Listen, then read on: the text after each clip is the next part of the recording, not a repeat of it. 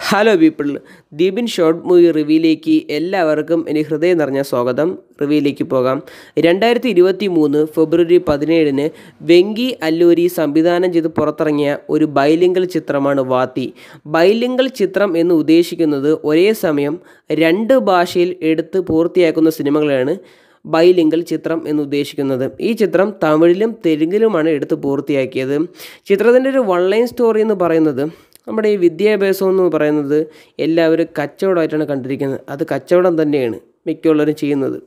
പക്ഷേ വിദ്യാഭ്യാസം എന്ന് പറയുന്നത് അതൊരു അറിവാണ് അതൊരു മര്യാദയാണ്. വരും തലമുറയ്ക്ക് നമ്മൾ പഠിച്ച അറിവുകളും മര്യാദകളും അവർക്കും പകർന്നു നൽകുന്ന ഒരു വലിയൊരു മെസ്സേജ് എന്നാണ് ഈ സിനിമ അവസാനിക്കുന്നത്.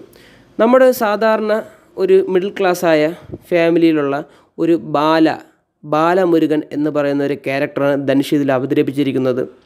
ഒരു പാവപ്പെട്ട ഗവൺമെന്റ് സ്കൂളിൽ ചെന്ന് വിദ്യാഭ്യാസം എന്താണെന്നും വിദ്യാഭ്യാസത്തെ കൊണ്ടുള്ള ഉപയോഗങ്ങൾ എന്താണെന്നും വിദ്യാഭ്യാസം കൊണ്ട മര്യാദകൾ എന്താണെന്നും അദ്ദേഹം ആ കുട്ടികളോട് ഫ്രീ ആയിട്ട് പഠിപ്പിച്ചു കൊടുക്കുകയാണ്.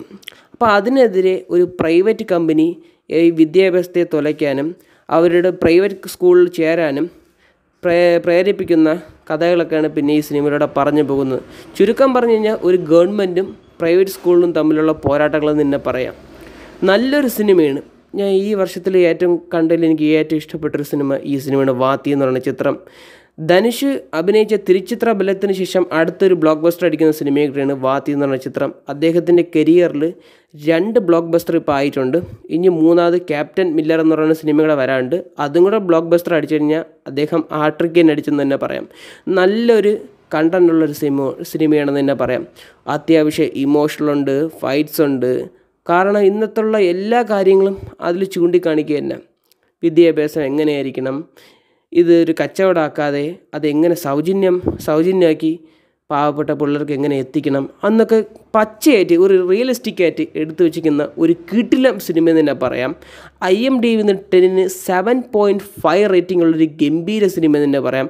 ഐ എം ഡി ബി നോക്കി നിങ്ങൾ സിനിമ കാണണ്ട. നല്ലൊരു സിനിമയാണ് കാണാത്തവരുണ്ടെങ്കിൽ ഇപ്പോൾ ചെന്ന് ഡൗൺലോഡ് ചെയ്ത് കണ്ടു നോക്കുക. കണ്ടിട്ട് നിങ്ങളുടെ അഭിപ്രായം നിങ്ങൾ എന്റെ കമന്റ് ബോക്സിൽ രേഖപ്പെടുത്തുക. നിങ്ങൾക്ക് ഇഷ്ടപ്പെടാം ഇഷ്ടപ്പെടാതിരിക്കാം അത് നിങ്ങളുടെ അഭിപ്രായങ്ങളായിരിക്കണം. പക്ഷേ ഞാൻ പറയും ഈ സിനിമ നിങ്ങൾ എല്ലാവരും കയറി കണ്ടു നോക്കണം. പക്ഷേ അത്രയ്ക്ക് നല്ല സിനിമയെന്ന് തന്നെ പറയാം. എല്ലാവർക്കും ഇത് ഇഷ്ടപ്പെടുന്നുണ്ടെന്ന് ഞാൻ പ്രതീക്ഷിക്കുന്നു.